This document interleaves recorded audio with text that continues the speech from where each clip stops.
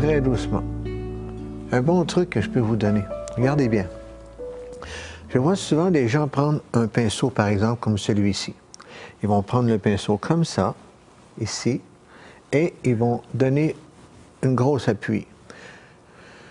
Moi, ce que je trouve quand on prend un pinceau, que ce soit celui-là, un petit pinceau ou un pinceau à, manche long comme un, éventail ici, on peut le prendre comme ça ici, loin, et ne pas serrer la main.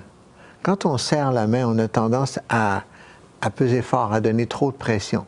Si vous faites ça et que vous travaillez seulement avec les doigts et non avec l'épaule et non avec l'avant-bras, vous allez perdre la pression et être plus souple et plus délicat dans vos mouvements avec euh, le pinceau. Ça aide énormément. Vous allez voir.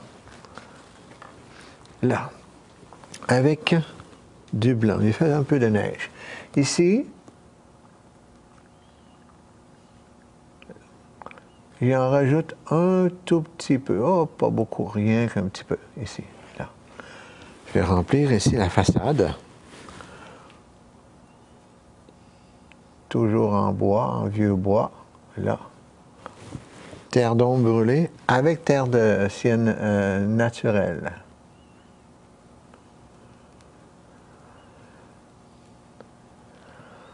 Là. Et la même chose sur l'autre côté, l'autre petit mur. Là. Mais ça va tellement bien. Ici.